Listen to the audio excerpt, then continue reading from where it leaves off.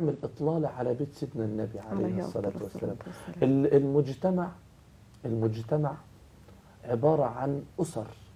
ما هي الأسرة؟ هي اللبنة في بناء المجتمع. صحيح. أنا لما أجي أبني البيت في حاجة اسمها اللبنة اللي هي الطوبة دي. مم. فعشان أبني بيت أنا محتاج 10000 طوبة 15000 طوبة زي ما أهالينا كده كنا نشوفهم هما بيبنوا البيوت.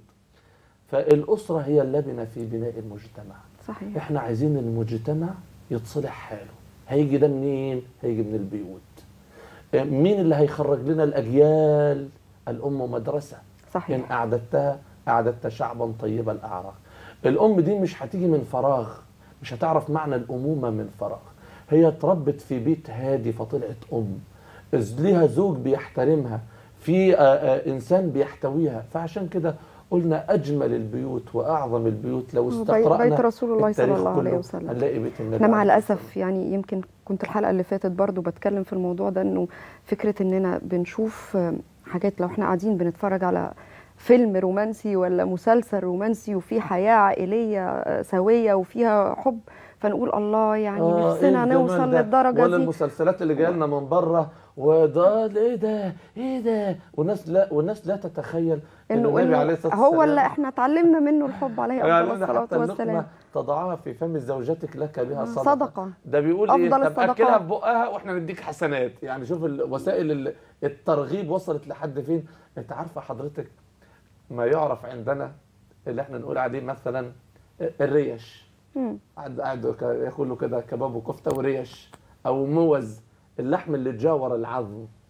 فكان ستنا عائشة تقول إيه؟ النبي عليه الصلاة والسلام لما كنا قاعدين كده ناكل ولا حاجة فيحب ما ياخدش ريشة صحيحة كده. إحنا قاعدين مثلا واحد لما نجيب. سيرة الريش يقول لك اللهم قربه إلينا الريش دي. قاعدين ناكل كباب وكفتة وريش واحد ياخد له ريشة كده ياكلها. النبي ما كانش ياخد واحدة كده ياكلها. كان ياخد اللي خدتها عائشة عشان ياكل وراها. مم.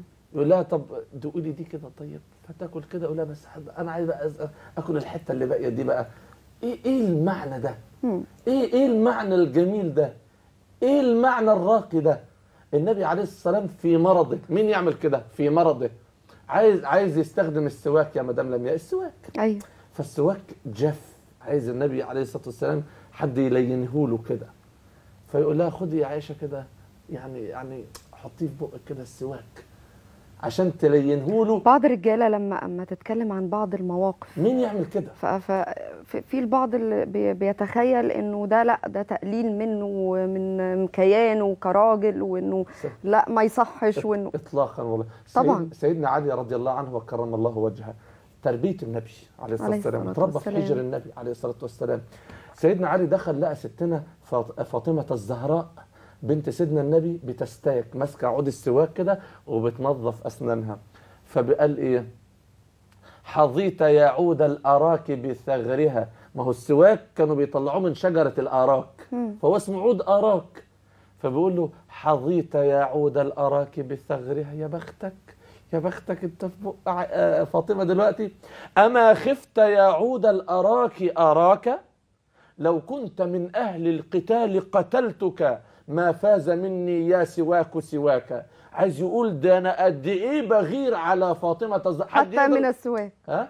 يعني شوف هو عمل كام حاجة دلوقتي في البيتين دول. قال يا بختك يا نهار ده أنت لامس بقه الشريف الجميل ده. يا بختك ما يعني أما خفت يا عود أراك. اراك دي دي فاطمة دي حبيبة قلبي وأنا أغير عليها. ده محدش يقدر يجي ناحيتها.